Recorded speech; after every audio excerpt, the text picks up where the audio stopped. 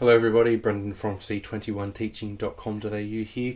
In today's Flip Teacher Professional Learning video, we're going to be taking a look at a new feature in Padlet.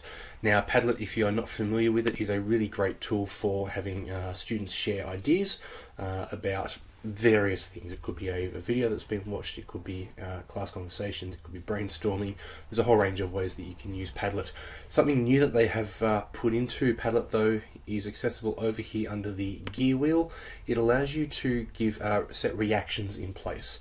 So if I scroll down a little bit to reactions, turn that on. So let's take a bit of a look at what each of these will look like. So if I set to like and hit save, so I can simply go through and I can like the relevant post. Really straightforward that one. Come back into here, if we vote, now you do need to know if you do change the reaction type, it will delete all of the existing reactions. Hit save, close, you can now vote up or vote down uh, a post depending on what it, what it is. Uh, and you can of course change your reaction by clicking back onto that same reaction. So if I've upvoted this one and I want to remove that, I can just click on it again and it changes that back. If we go back over to here, star ratings, I can now simply give that a star rating, uh, whatever that may be. Uh, there is of course the option to unrate, which will remove your rating.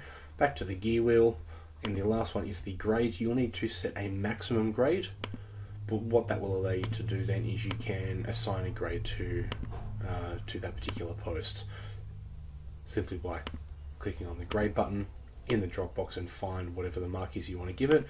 Uh, that I would probably not go with 100. I would probably go with 10, something that's a little bit more manageable to uh, to assign grades fairly quickly. But that may be a good way of uh, just for yourself uh, making notations around the level of responses. Obviously, how you use the reaction in your classroom is going to vary depending on your context, uh, but it's a really useful little tool that Padlet have added.